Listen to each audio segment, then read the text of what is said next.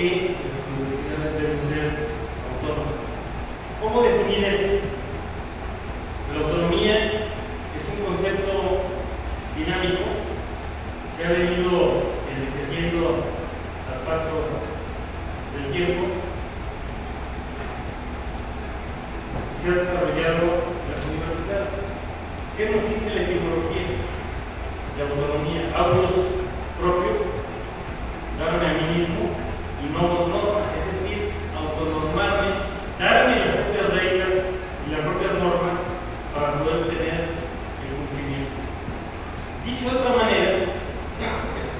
componentes esenciales.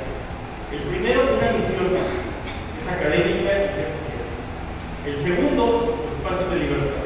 El segundo es que yo diseñe las propias normas para gobernar mi relación interna en la propia universidad. Y el tercero es que mi patrimonio lo pueda administrar de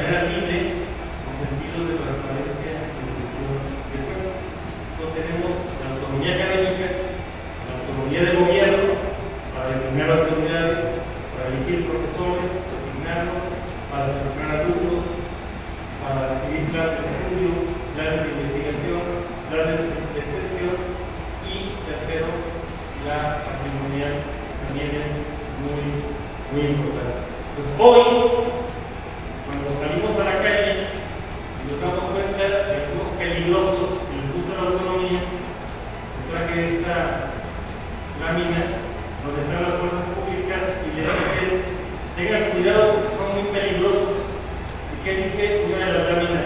Libertad de pensamiento.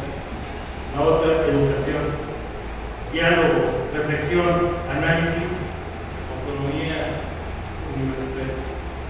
Estas ideas que se despliegan no son porque somos mejores o somos más iluminados o porque queremos tener un régimen de excepción. Para nosotros está claro, no tenemos duda, contrapone con la transparencia y rendición de cuentas.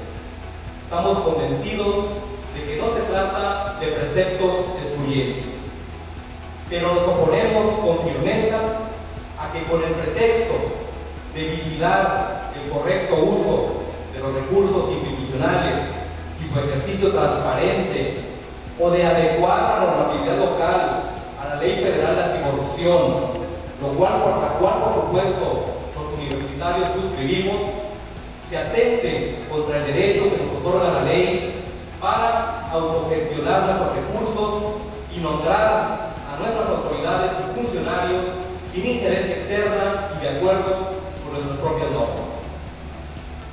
La reflexión en torno a una ley de educación debe aprovecharse para precisar los alcances y límites de la autonomía universitaria, así como su vínculo con la transparencia y rendición de cuentas.